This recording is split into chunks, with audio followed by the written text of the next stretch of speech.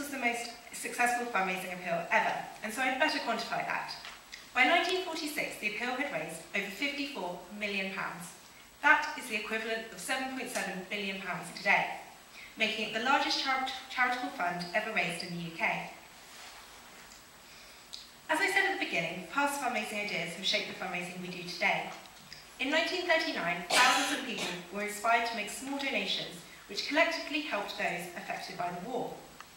Right now, thousands of people are making small donations which collectively are helping those affected by the conflict in Gaza. Both appeals allow the public to express their solidarity with people whose lives have been torn apart by war. The DEC's Gaza appeal may be in different times, but the principles of fundraising remain the same. So aside from all the money, why was this fundraising initiative so exceptional that it made me want to stand up here today and say, I wish I'd thought of that? Well, during a time of emotional and financial strain, and with the feelings of uncertainty about the future that the war brought, it hardly seems like an ideal time to launch an innovative and pioneering fundraising appeal. However, the need was there so the Red Cross and St John were not deterred.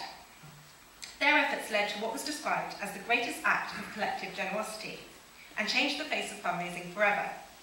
So I think we can all take something from this. Be bold, be brave and think big, because you might just achieve something exceptional. Thank you.